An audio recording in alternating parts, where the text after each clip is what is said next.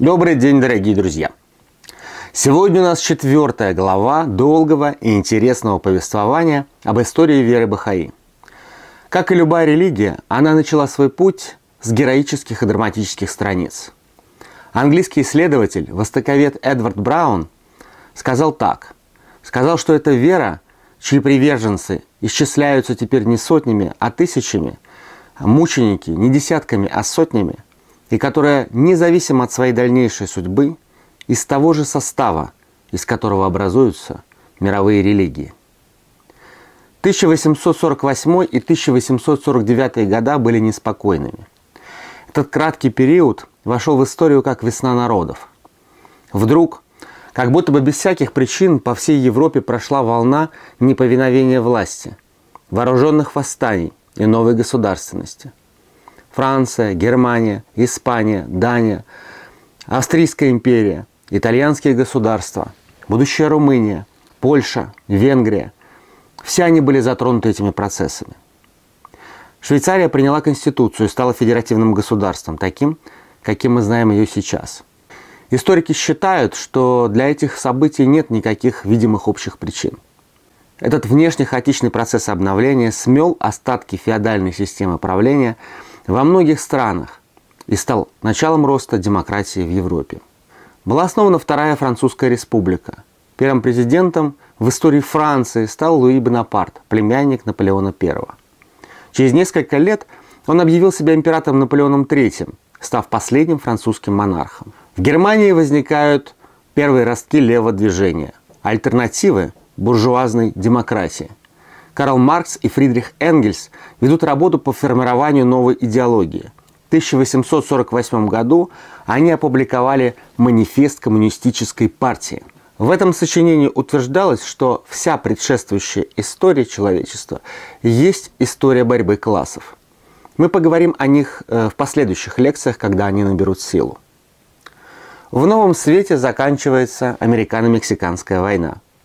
США завоевали весь Запад Северной Америки и достигли Тихого океана. Их штат Калифорния попал в заголовки газет. Там, возле небольшой лесопилки, было обнаружено золото. Северную Америку охватывает золотая лихорадка. В то же время в другом городке Калифорнии три девушки, сестры Фокс, сообщили о том, что они вступили в контакт с невидимой сущностью. В течение нескольких последующих лет множество людей внезапно обнаружили в себе способность общаться с духами. Так сестры Фокс положили начало целому движению спиритуалистов, которое всего за 7 лет набрало миллион сторонников. Крайне важные события произошли в области науки. Так Чарльз Дарвин и Альфред Уоллес впервые предложили теорию эволюции путем естественного отбора, а лорд Кельвин описал свою абсолютную температурную шкалу, которой физики пользуются и по сей день. Летом 1847 года Баб под охраной прибыл в тюремную крепость Маку. Относительно спокойный период быстро закончился. Визирь намеренно отправил Баба в Маку.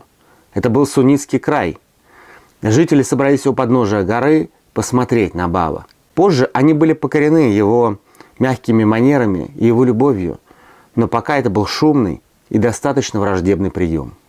Тюрьма представляла собой массивное каменное сооружение на горе с четырьмя башнями. Ее и сейчас показывают туристам, настолько фундаментально она была сделана. Даже добраться до крепости было затруднительно, вокруг была труднопроходимая местность. Визирь лелеял надежду на полную изоляцию Баба. Как же он был наивен. В первые недели заключения Баба надзиратель крепости Алихан держал его в заперти и не допускал посетителей. Это был суровый, конкретный, самоуверенный и непреклонный человек. Баби не разрешалось даже останавливаться в самом городе. Только двум последователям разрешалось встречаться с ним и спускаться в город за провизией. Их связным, которым они передавали писание Баба для отправки верующим, был некий шейх Хасан.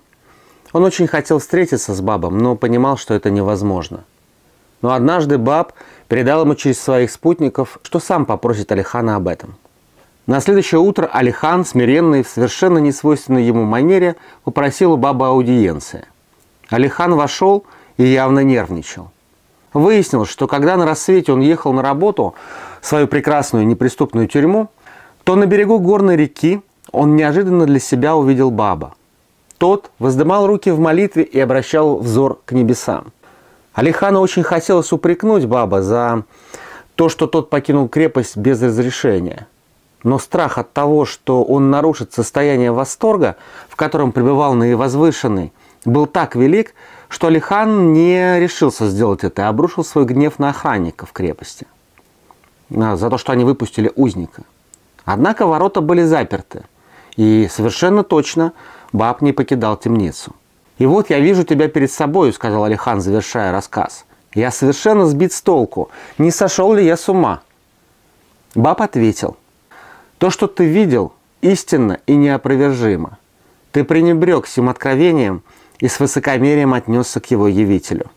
Всепрощающий Бог, не желая подвергать тебя наказанию, возжелал явить твоему взору истину. Своим божественным вмешательством Он вселил в твое сердце любовь к избранному и заставил тебя признать несокрушимое могущество его веры. Думается, что вся жизнь пробежала перед глазами Алихана, и он только и смог сказать, «Там у ворот какой-то бедняк-шейх хочет увидеться с тобою. Разреши мне привести его». Баб кивнул, и Алихан сам привел шейха Хасана в его присутствие. Именно в Маку Баб создал персидский баян, сочинение, в котором он излагает законы и заповеди своего завета, объявляет о грядущем откровении и призывает своих последователей искать того, кого явит Бог. Там он публично принимает на себя полномочия того, кто восстанет, Каима. Когда Баб диктовал баян, его голос был слышен всем у подножия горы, на которой располагалась крепость. Так как прежние запреты были сняты, Баб принимал у себя благочестивых паломников со всей Персии. Он разрешал им провести в Маку три дня, а затем отсылал назад к своим трудам на благо укрепления веры. Алихан теперь каждую пятницу приходил к Бабу, чтобы засвидетельствовать ему свое почтение. Главное из всех писаний Баба, Баян, более полный на фарси и меньший по объему на арабском – были открыты в один и тот же период с небольшим промежутком времени. Каждый из них упоминается в другом. Персидский баян написан от лица богоявления, которое интерпретирует стихи Бога. Арабский баян написан подобно Корану от лица Бога. Обе работы были не закончены. Бабу оставалось еще около двух лет земной жизни, и закончить их не представляло сложности. В незавершенности был символизм. На каждой странице баяна упоминался тот, кого явит Бог. На каждой странице была хвала ему и его власти. Именно он должен был завершить баян. По сути, вся книга законов Баба – это хвалебная, восторженная песнь грядущему за Бабом второму богоявлению – Бахауле. Послушайте слова Баба. «Вам подобает ожидать дня пришествия того, кого явит Бог – Воистину, я посадил древо баяна лишь с единственной целью, дабы вы смогли признать меня. Подлинно, я первый, кто преклоняется перед Богом и верует в Него. Посему да не будет ваше признание бесплодным, поскольку баян, несмотря на возвышенность положения его, присягает в верности тому, кого явит Бог, коего и пристало называть престолом божественной действительности, хотя на самом деле Он есть я, а я есть он. Персидские и арабские баяны до сих пор не переведены полностью на западные языки.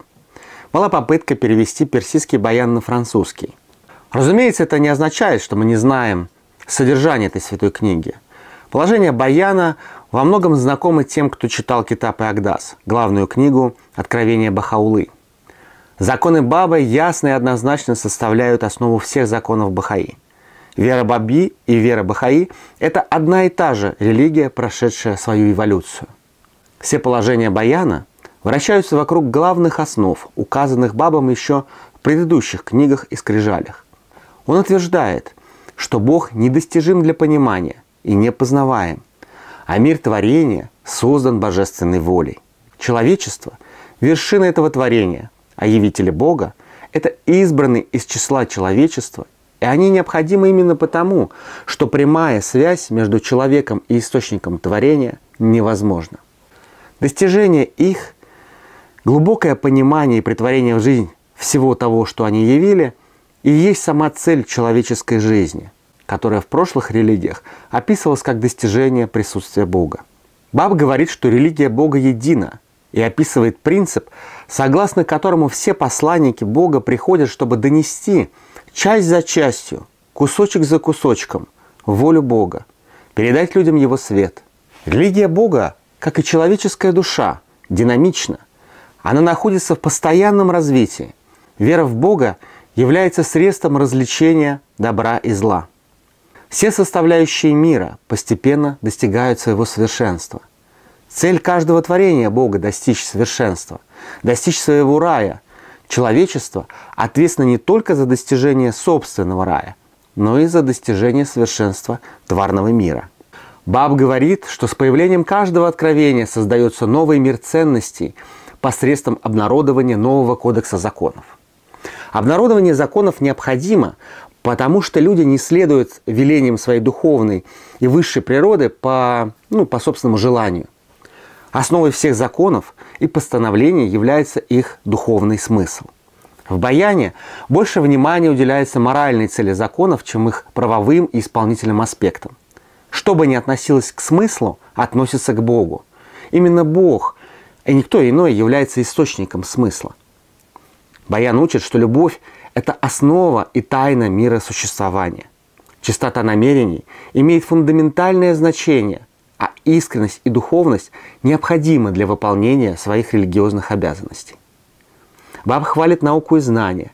Он возвышает умеренность, терпение, спокойствие и душевное равновесие. Религиозные законы Баяна имеют много общего с законами Корана, но при этом они полностью независимы от них. Такие установления, как обязательная молитва, пост, паломничество, присутствуют в Баяне, но виды изменены. Особое внимание Баб уделяет молитве за родителей. Согласно Баяну, человеческие существа занимают высокое положение, так как способны признать единство Бога и повиноваться Ему. Человеческая душа вечна, и ее прогресс в пределах своего положения безграничен. Цель актов преданности – способствовать духовному прогрессу, и самый достойный акт преданности – приносить счастье другим. Поэтому множество социальных законов появляются в баяне. Среди них запрет на ношение оружия и отмена смертной казни. Запрещено изгнание людей из их домов и стран. Поэтому Баб выделяет область из нескольких провинций, где разрешается жить только баби.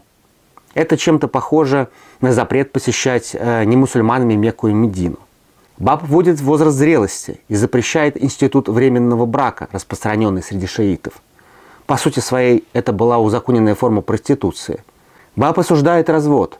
В исламе достаточно было сказать развод три раза, и оба супруга считались свободными. В баяне же вводится год терпения для того, чтобы разводящиеся хорошо подумали. Законы баяна затрагивают и финансовую сферу. Баб предписывает каждому составить завещание.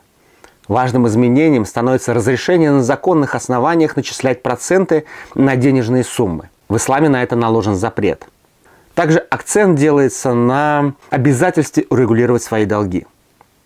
Среди финансовых уложений есть и те, что можно назвать способствующими обращению в веру.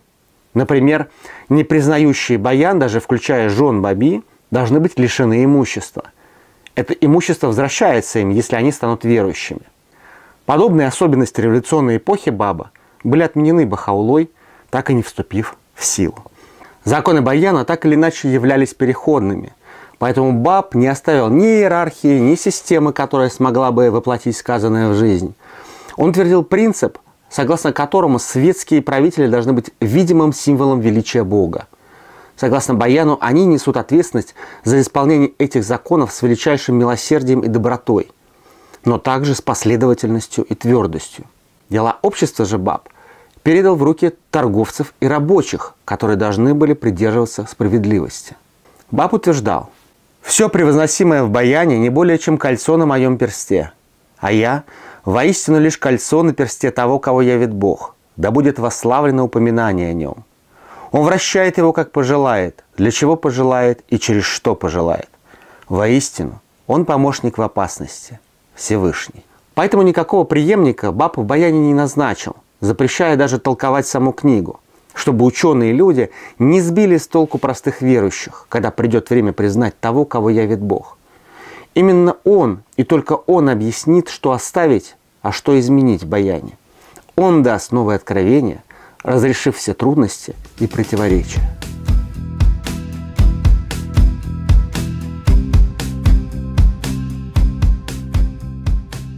Макубаб находился около 9 месяцев.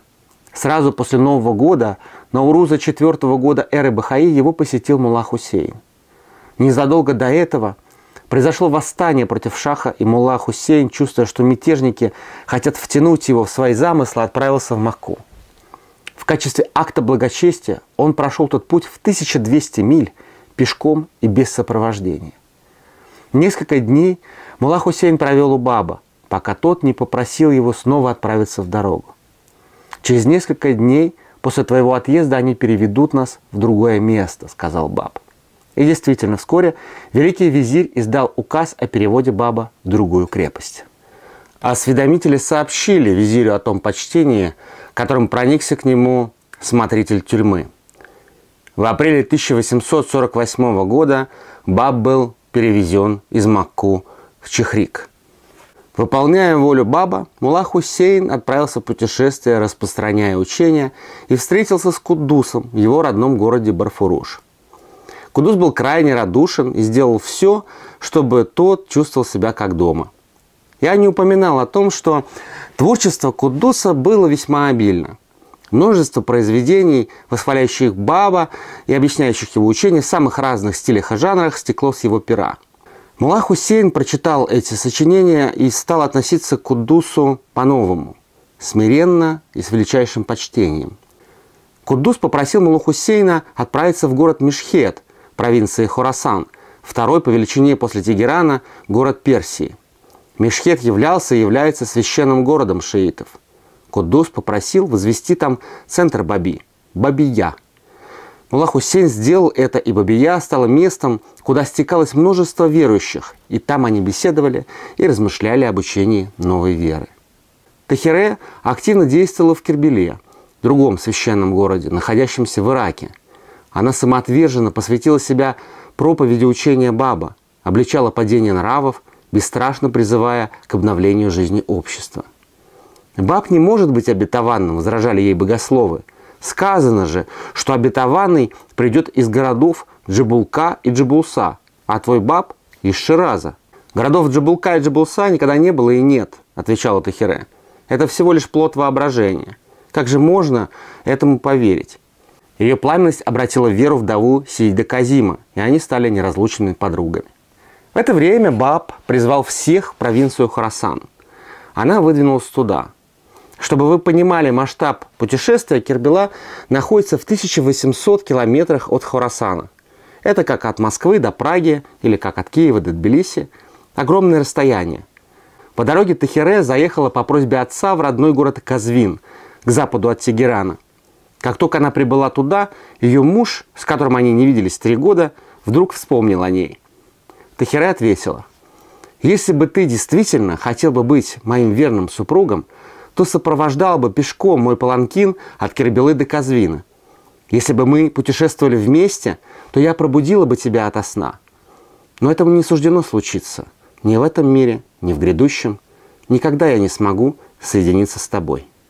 Муж Тахире и его отец пришли в ярость от этого послания. Они не нашли ничего лучше, чем внушить ненависть легковерной толпе против всех учеников Сида Казима в Казвине – и шейхи, и баби убивали. Несколько последователей Баба умертвили с особой жестокостью, разрубив тела на куски и разбросав их так, чтобы невозможно было предать их земле. События в Казвине затронули и Бахаулу. Его на несколько дней арестовали. Бездействие властей обрадовало злоумышленников. Они стали готовить Тахире страшную участь. Но ее было не запугать. Она сказала, что Бог вырвет ее из-под власти мужа и ровно через 9 дней Махауле удалось вывести Тахире в Тегеран.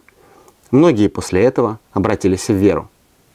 Рассеянные и разобщенные последователи Баба нуждались в том, чтобы обрести понимание своих дальнейших действий. Для этого они собрались в деревушке Бедашт, около Бастама, родного города Мулы Хусейна, на конференцию. Прибыв в Бедашт, Бахаула снял три дома. Один для Кудуса, другой для Тахире и третий для себя. Расположенные кругом дома буквально утопали в садах. В центре этого круга было открытое место, где баби могли беспрепятственно собираться и совещаться. Всего на соборе присутствовал 81 человек. Каждому Бахаула дал новое имя, с которым принявший веру должен был войти в новую жизнь. Сам он принял имя Баха. Каждое из этих имен было впоследствии утверждено Бабом. 22 дня длилась эта конференция. Однажды Бахаула заболел и не мог выходить из дома. Кудус, а за ним и все остальные собрались около его дома. Все, кроме Тахиры. Присутствовать среди мужчин ей не разрешалось. Тахире передала Кудусу записку с просьбой навестить ее, но Кудус отказался. Но то, что произошло потом, повергло в изумление всех. Тахире сама пришла в сад Бахаулы, нарядно одетая и с открытым лицом. С величайшим спокойствием и достоинством приблизилась она к Кудусу и села рядом с ним. Смолкли все разговоры. Многие отвернулись при виде открытого лица – Говорят, что один из присутствующих даже перерезал себе горло. Куддус, лицо которого потемнело от гнева, схватился за кинжал. Но гнев мужчин нисколько не смутил женщину. Она поднялась и начала говорить. Ее слова звучали ритмично и ясно. Тахире произнесла «Я то слово, которое должен сказать обетованный. Слово, которое повергнет страх всех владык и вождей. Слышите трубный глаз? Это звучит великая труба, возвещающая наступление великого дня. После ее речи Бахаула вышел из дома и прочел суру неизбежного из Корана, в которой рассказывается о дне обновления. Это был самый важный момент встречи. Именно женщина удостоилась чести провозгласить наступление новой эры. Часть местных жителей была враждебно настроена в отношении Баби – Вскоре на них было совершено нападение, и все имущество разграблено. Бахаула и Тахире были арестованы, но цель этой конференции, этой исторической встречи была достигнута. По распоряжению великого визиря Баба перевели из Маку в Чехрик. Условия содержания в этой тюрьме были более суровы. Коменданту дали ясно понять, что он не должен следовать примеру Алихана и что ему надлежит содержать Баба в условиях строгой изоляции. Несмотря на эти приказы, смотритель Чехрика также попал под обаяние личности Бабы и вскоре почувствовал, что не в силах следовать распоряжениям великого визиря. Он горячо полюбил Баба и не отказывал никому, кто желал с ним встретиться. Так как количество людей, стекавшихся, чтобы увидеть Баба, было очень велико, пришлось селить их в небольшой деревушке, что находилась в часе пути от крепости. Интересный случай произошел с одним князем из Индии, который, увидев вещий сон, пришел в Персию из своей далекой страны. Он часто повторял свой рассказ. «Однажды мне приснился баб. Одним своим взглядом он совершенно покорил мое сердце. Когда я вскочил, чтобы следовать за ним, он пристально посмотрел на меня и сказал, «Сними свой роскошный наряд, оставь родную страну и пешим пройди далекий путь, чтобы встретить меня в Азербайджане. Все, что желает твое сердце, исполнится в Чехрике». Я последовал его наставлениям и достиг своей цели. Известие о том, что этот правитель стал дервишем, дошло до Тегерана. Оно свидетельствовало о возрастающем влиянии Баба. Чтобы помешать этому, был издан приказ привести Баба в Тибриз и опозорить. Глава города очень много слышал о Бабе, и ему хотелось испытать его мужество. Поэтому, когда Баб пожелал посетить баню, принц приказал конвоиру оседлать для Баба норовистую лошадь, которая не раз сбрасывала себя самых храбрых и умелых наездников. Когда к бабу подвели лошадь, он взял ее за уздечку, нежно погладил и вскочил на нее. Лошадь не двигалась, словно ощущая укращающую силу всадника. Для простых людей, стоящих в толпе, это казалось чудом, и многие сразу объявили себя приверженцами дела баба. Но баб припомнил стих из Корана. Он сказал, «Неужто полагают люди, что если они скажут «веруем мы в Бога», их не подвергнут испытаниям. Справедливость этого замечания стала очевидной, когда оказалось, что очень немногие из тех, кто с таким воодушевлением объявляли о своей вере в Баба, когда видели его чудеса, остались верны его делу в час испытаний. В Тебризе был созван сход высшего духовенства, целью которого было подвергнуть баба испытанию в присутствии 16-летнего наследника, будущего главы Персии Насредин Шаха. Прибыв в собрание, баб увидел, что все места, кроме места для принца, заняты. Без малейшего колебания он направился к этому креслу. Глава духовной общины спросил, «Кем ты считаешь и что за послание ты принес?» «Я есть, я есть, я есть обещанный», — отвечал баб. «Я тот, к чьему имени вы вызывали тысячу лет, тот, при упоминании о коем вы вставали, чье пришествие вы жаждали узреть, моля Господа приблизить час Его откровения. Воистину, говорю я, все народы Востока и Запада должны повиноваться моему слову и присягнуть мне на верность. Глава духовной общины сказал ему, что в такое смелое утверждение нельзя сразу поверить. Оно требует доказательств. Баб согласился за двое суток сочинить и показать им столько стихов, сколько есть во всем Коране. Несколько раз Баб начинал являть откровения, но его перебивали. В итоге Баб поднялся и покинул собрание. Глава общины был очень недоволен исходом. Он воскликнул. Какой стыд, что жители Тибриза так невоспитаны. Один из богословов продолжал во весь голос клеймить ушедшего, и власти решили подвергнуть Баба наказанию палочными ударами по пяткам. Один из священнослужителей сам вызвался исполнить приговор и нанес Бабу 11 ударов. В тот же год этого человека разбил паралич, и он умер в ужасных мучениях. Из Тибриза Баба отвезли обратно в Чехрик. Перед отъездом он вложил свои писания, кольцо и футляр для письменных принадлежностей и попросил через доверенное лицо отослать это Бахауле. В это время визирь Шаха Мирзата Гихан без ведома самого Шаха распорядился, чтобы верующих в Баба подвергли наказанию. Духовенство с кафедр подстрекало толпу. Многие, включая правительственных чиновников, радовались при мысли о том, что они смогут прибрать к рукам имущество убитых. Кудуса в тот момент заключили под домашний арест в городе Сари, неподалеку от его родного Барфуруша. Этот город известен тем, что он какое-то время был столицей Ирана, а также тем, что его в середине 15 века посетил русский купец Афанасий Никитин, упомянувший его в своих путевых записках «Хождение за три моря». Баб попросил Мулу Хусейна поддержать Куддуса. Мула Хусейн и его спутники числом в 202 человека, развернув черное знамя, символ владыки эпохи, описанный в преданиях, немедленно южной дорогой выдвинулись в свой поход. В каждой деревне и в каждом селении спутники возвещали о послании нового дня. Они призывали людей принять его, и те, кто откликался, присоединялись к ним. Мулла Хусейн не уставал повторять своим спутникам, что тот, кто не готов отдать свою жизнь за веру, должен его покинуть. Были те, кто предпочел вернуться назад, но число участников постоянно возрастало. Тем временем в Барфуруше, сейчас этот город называется Баболь, стало известно, что приближается Мула Хусейн со своими единомышленниками. Местный улем богослов запугал жителей, говоря им, что их всех перебьют, если они не встретят Баби самым богоугодным образом – ружьями, саблями, камнями и палками. Жители города не на шутку испугались, услышав о грозящей опасности, и стали готовиться. Им было невдомек, что Баби собирались мирно и спокойно пройти через их город, рассказывая об обещанном. На самом деле богослову был спущен сверху тайный приказ, поэтому жители были не одни. С ними была армия визиря, который был убежден, что под благовидным предлогом он сможет избавиться от смутьянов. Когда наступавшие выдвинулись к путникам, их лица выражали лютую жестокость, а уста извергали проклятие. Первым ружейным залпом было убито шестеро баби. Мула Хусейн отказался дать приказ даже к обороне. Вторым залпом было убито еще несколько. Среди павших был близкий друг Мулы Хусейна. И только тогда Мула Хусейн взмолился. «О Господи мой Боже!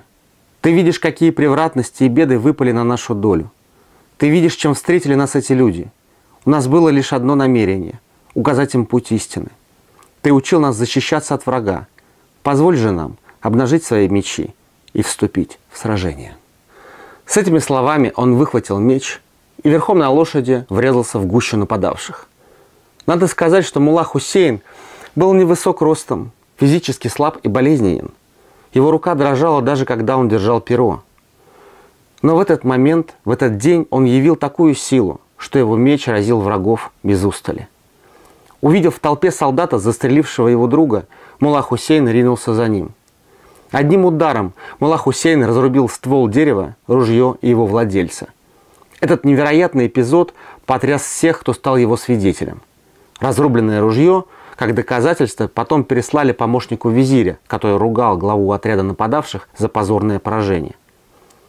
Пока нападающие в смятении разбегались, Мула Хусейн поскакал в город, прямо к главе духовной общины. «Уже ли забыл ты, — кричал ему Мула Хусейн, — что тому, кто проповедует священную войну, должно самому шествовать во главе и собственными подвигами воспламенять их преданность и поддерживать их дух?» Священнослужитель так и не вышел к нему. Тем временем нападавшие сдались и просили мира. Спутники Мулы Хусейна с кличем «Я Сахиб Аз-Заман», о владыка эпохи, догнали своего предводителя и целовали стремена его скукуна, удивляясь тому, что тот остался цел и невредим. Несколько раз на них подло нападали уже после разгрома. И каждый раз Мулах Хусейн, после того, как отбивал нападение, прощал их и устанавливал мир. Их задачей не было остаться в городе. Из Барфуруша они выступили в сторону Сари. На пути верующих была одна из святынь, хранитель которой ожидал их, увидев во сне будущие события. Это святыня – усыпальница шейха Табарси. Шейх Табарси жил в XI-XII веках и был автором одного из э, самых подробных и ярких комментариев к Корану. Мы до сих пор не знаем, где он захоронен. Есть две его гробницы, одна в Мешхеде и другая там, где развернулись трагические события. Было ясно, что побежденное войско визиря, маскировавшееся под жителей Барфуруша, не оставит своего преступного замысла. Поэтому Мула Хусейн сказал разбить лагерь там и распорядился, чтобы вокруг гробницы возвели укрепления. Сразу же после окончания строительства пришло известие, что в соседнюю деревню прибыл Бахаула. Осмотрев сооружение, он остался доволен и сказал Муле Хусейну послать делегацию из семи человек с требованием освободить Куддуса. «Этого будет достаточно», — сказал он. Он верил со товарищей заботе Бога и отправился в Тегеран. Мула Хусейн выполнил все указания Бахаулы.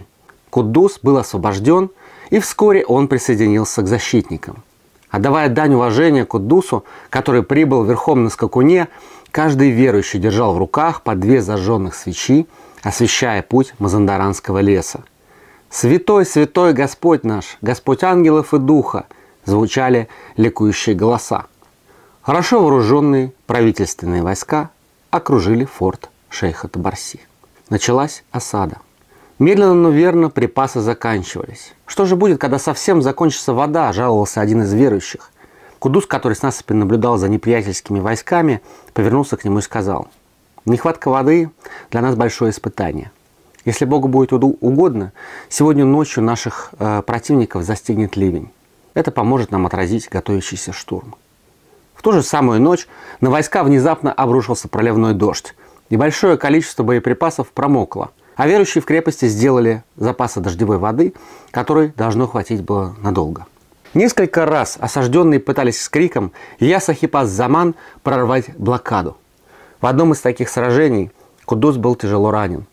Пуля прошла через рот, выбила несколько зубов и повредила язык и горло. Бахаулу, который пытался прорваться к ним, арестовали. Осада заставила осажденных выкопать колодец. В одно из сражений пуля пронзила грудь Мулы Хусейна. Истекая кровью, он спешился и упал на землю.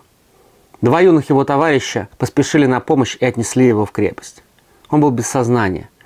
Как только его доставили, Куддус попросил всех покинуть комнату и оставить их вдвоем. Верующие в волнении ожидали за дверью. Каково же было их удивление, когда через несколько минут до них донесся голос Мулы Хусейна, который спокойно отвечал на вопросы Куддуса. Беседа продолжалась около двух часов. Один из верующих подглядывал в щелку. Он был потрясен, когда увидел, что в один из моментов Мула Хусейн встал и преклонил колени перед Куддусом. Но время первой буквы живого истекло. Он скончался. На лице его застыла легкая улыбка. Казалось, что он спокойно спит. Кудус взял на себя заботы о похоронах Мулы Хусейна. Он облачил тело в собственную рубаху и, прочитав молитву, сказал, «Пусть возлюбленные Господа последуют примеру этих мучеников за нашу веру. Пусть они прибудут столь же едины в жизни, как эти люди в смерти». Муле Хусейну было 36 лет. Его младший брат и сестра также погибли. Последнее сражение Мулы Хусейна и его товарищей нанесло серьезный урон правительственным войскам, и им понадобилось 45 дней, чтобы снова собраться с силами. Несмотря на голод, баби пели и предавались веселью, презрев угрожавшие им опасности. Над фортом разносились гимны и молитвы, а в пищу в это время уже пошла кожа сапог, потому что все запасы съестного закончились. В начале марта 1849 года Куду стал готовить своих товарищей к приближению мученической гибели. К этому времени в крепости съели уже всю кожу, и единственной пищей была трава, которую отваривали и ели. Однако смятение было на той стороне. После стольких попыток, неудачных попыток уничтожить мужественных последователей Баба, руководитель созвал на совет своих командиров. Поклявшись на Коране и своей честью, он заверил, что все защитники крепости, которую они не смогли взять, будут отпущены на свободу, что никто из жителей окрестных сел не тронет их, и он сам за собственный счет устроит их возвращение домой. Кудус приказал всем верующим готовиться к уходу из форта. Семь месяцев, 10 октября 1848 по 10 мая 1849 года стойкие последователи и последовательницы Баба защищали крепость Табарси. И их обманули. Часть подавшихся на уловку товарищей Кудуса согнали во вражеский лагерь, отобрали у них все имущество и продали в рабство. Других либо зарубили саблями офицеры, либо растерзала толпа. Одних привязывали к деревьям и безжалостно расстреливали. Других казнили, выстреливая ими из пушек. Бобиц сжигали заживо, спарывали им животы, а отрубленные головы насаживали на пики. Вот так противник выполнил свое обещание. Самого Кудуса отвезли в Барфуруш. Город был украшен флагами, жители высыпали из своих домов на улицу. С Кудуса сорвали одежду, и Басова с непокрытой головой, закованного в цепи, водили по улицам. Вопящая толпа осыпала его проклятиями и плевала в него. Долгое время, много лет подряд мама Кудуса уговаривала его жениться. «Не пришло еще время моей свадьбы», – отвечал он тогда ей в ответ.